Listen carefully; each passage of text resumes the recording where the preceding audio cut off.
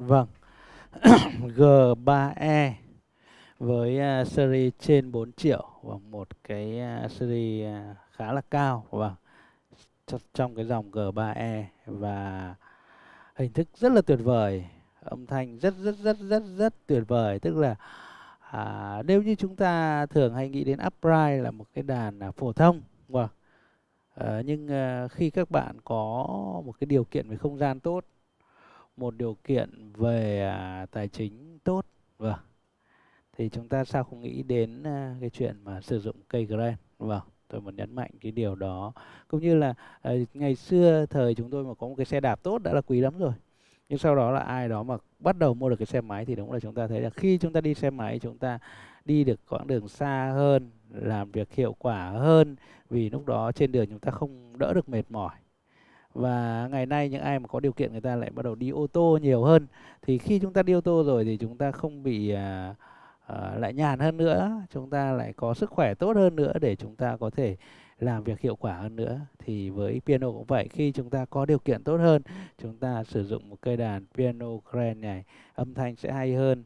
À, chúng ta sẽ có một cái đồ vật đề co trong nhà tuyệt diệu. Vâng bên cạnh đó thì cái chính là cái cái thưởng thức âm nhạc cái thưởng thức âm nhạc khi chúng ta chơi lên và ờ, chúng ta nghe sẽ thấy nó mãn nguyện. Vâng nó thực sự mãn nguyện.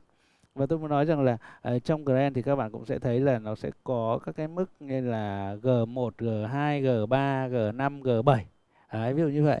Thì uh, nó có nhiều cái nấc về cái chiều dài của cây đàn nó cũng phù hợp với như là U1, U2, U3 trong đàn Yamaha upright. Thì các bạn thấy rằng là với những cái dòng G3 này là nó rất rất vừa rất vừa. À, nó dài 1m83 và của cây đàn thì nó rất là à, nó bứt phá khỏi cái khoảng của đàn upright là chỉ cao đến 1m31 thì đây là mét 83 nhưng mà nó lại cũng không bị quá dài à, và nó vừa với những không gian gia đình phòng khách chỉ cần 35 mét vuông trở lên. Vâng thì tôi nghĩ là dùng cây này là rất tuyệt vời chỉ cần 35 mét vuông trở lên các bạn có thể sắp xếp để sử dụng cây đàn này rồi.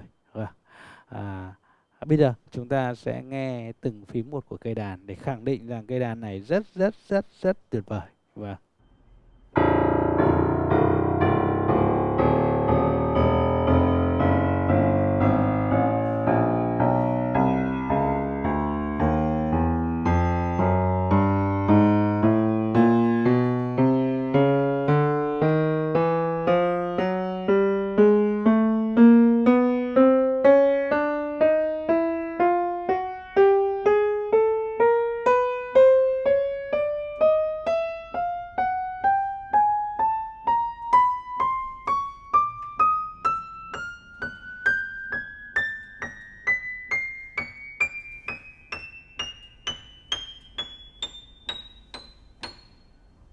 Vâng.